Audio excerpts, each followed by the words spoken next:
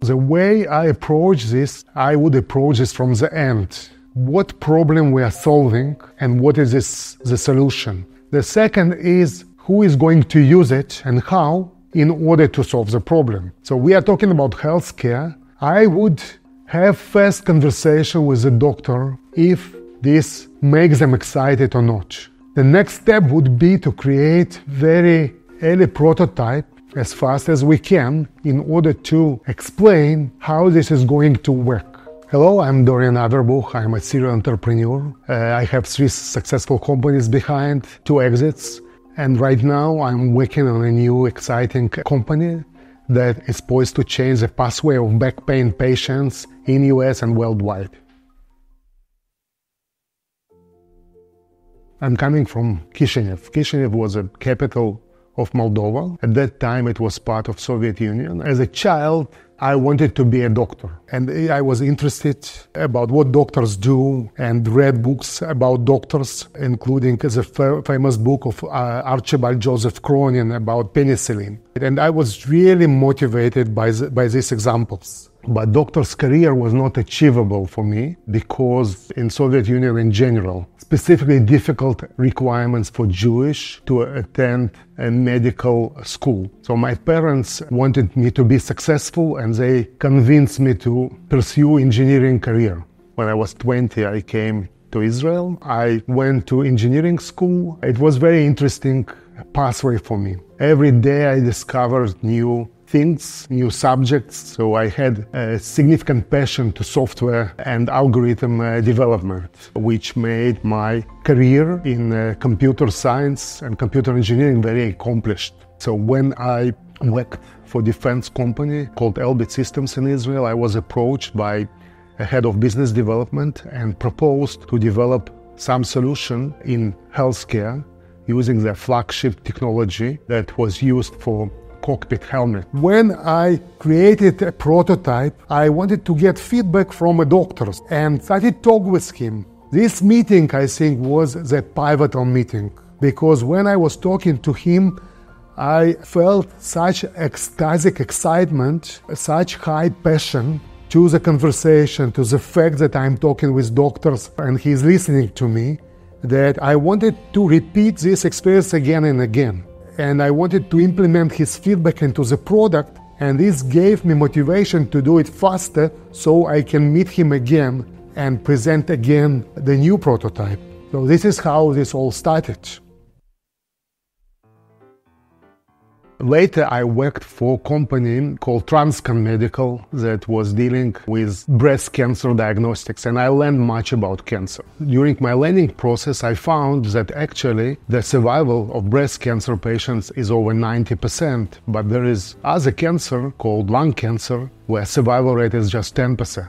So if you want to know the lesion has cancer or not, you have to get sample of the tissue from the lesion. Lung lesions, they are enclosed within chest and surrounded by ribs, important organs, and a lot of blood vessels. It's risky to the patient, and you need to weigh risk and benefits. And I started to think and I connected the electromagnetic technology with the lung, and I developed myself models that allowed to perform virtual navigation in lung. I developed this model for myself and I started to look for the company that has electromagnetic sensing technology. And I found uh, Superdimension. So what Superdimension developed, it developed legitimate approach when through relatively simple procedure like bronchoscopy, meaning that you take flexible tube with camera and you move this tube towards the lesion and then using the tube called working channel you can protrude tools and get biopsy from the lesion. But since these lesions are very far from the area where you can see, doctors were not able to approach those areas. So this gap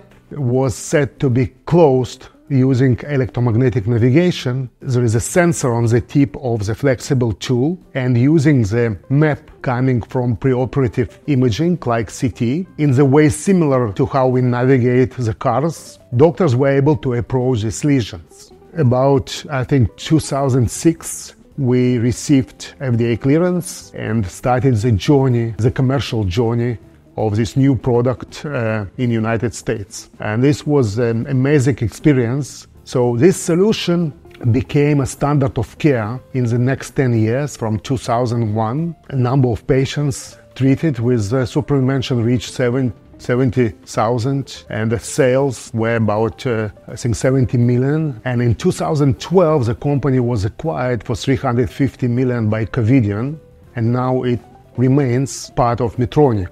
In the medical world, we have uh, three main customers. Number one, a doctor who is going to use your product. Number two is medical institution that is going to buy the product. And number three is regulatory requirements that are going to permit this product for use. Technology was very complex from engineering point of view, but we had to match the experience of doctors for us, this was a whole world, but doctors, they were interested to accomplish diagnostics as fast as possible. And it was definitely a usability gap of how we planned the product to work to how they wanted to work. Today, FDA, also European communities, they have very sophisticated regulation. So somebody who is starting to work on medical product, they need to be aware of timeline. It's not going to be fast. How much time you have to wait depends very much on what problem you are solving. Very important what is your regulatory strategy for approving this product.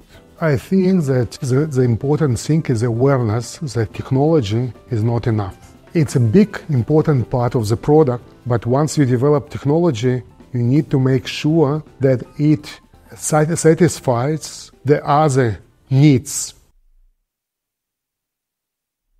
But one thing remained unsolved. With superdimension, we were able to approach only large lesions. The survival from lung cancer is directly connected to the size of the lesion. If the lesion is small, say 5 to 15 millimeter size, the survival rate is close to 90%. But when the lesion is larger, then the survival rate is around 26% today, but at that time it was like 15%. This was the reason why I started Body Vision Medical and developed new technologies that made this available. The way I approach this, I would approach this from the end. What problem we are solving and what is this, the solution? I would imagine how this would work at the end and what kind of problem it will solve. The second is who is going to use it and how in order to solve the problem. So we are talking about healthcare. I would have first conversation with the doctor about the opportunity and hear from doctor if this makes them excited or not. The next step would be to create very early prototype as fast as we can in order to explain how this is going to work. Doctors' imagination will work very differently from engineers because they have a practical experience. So when I'm showing them the prototype of the product or mock-up of the product, they would approach this completely differently. They would ask right questions, and as a result of these questions, I would be able to understand whether my solution is viable or not, and if it is, what is the minimum feature set that will make them excited and actually wishing to use this product. With Body Vision, we developed completely new technology, not based on electromagnetic sensors, but using real-time modality such as C-arm, X-ray machine used in bronchoscopy. And with C-arm, we were able to reveal invisible lung cancer lesions in real time and help doctors to diagnose them. Body Vision achieved high diagnostic yield, over 90%, comparable to CT-guided approach, which opened up the diagnostics and treatment for lung cancer, not just in US but worldwide, because this technology is easily accessible by any doctors in the world. And now this technology became actually standard of care. Now I'm looking at a different market.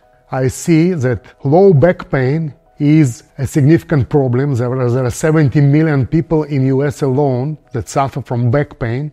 26 million suffer from acute back pain, but only 1 million is getting a permanent solution for their pain, creating a $50 billion market in US. I see this as a next challenge for myself of how to approach this large problem and solve it in a simple and elegant way.